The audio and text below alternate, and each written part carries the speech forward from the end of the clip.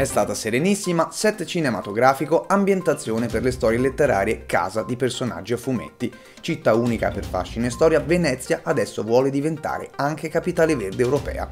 La candidatura per il 2022 è portata all'attenzione dell'UE dall'europarlamentare del PD Cecil Chieng e dal presidente della municipalità di Venezia Giovanni Andrea Martini, un modo per ridare splendore ad una città intera e alla sua laguna, dal 1979 patrimonio dell'umanità dell'UNESCO. Inquinamento dell'aria, dissesto idrogeologico della laguna, spopolamento della città e impoverimento della qualità della vita con i residenti soffocati dal turismo di massa, tutte sfide che Venezia intende vincere con l'aiuto dell'Europa.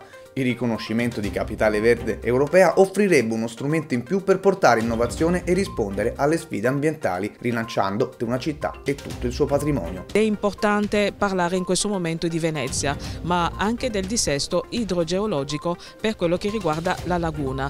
Venezia non deve morire, parlare della cultura, parlare dei giovani, parlare dei suoi abitanti, ma parlare proprio di quello che eh, Venezia rappresenta. È proprio per questo che abbiamo anche lanciato l'iniziativa Venezia Capitale Verde d'Europa per il 2022. Pensiamo che sia necessario che la città di Venezia possa eliminare l'inquinamento, l'intossicazione provocata dalle grandi navi proprio nel momento in cui si è in grado di eh, ricreare nuove attività, nuove economie, soprattutto per i giovani, che facciano diventare Venezia di nuovo una città attiva, dinamica e non solo legata al essere visitata.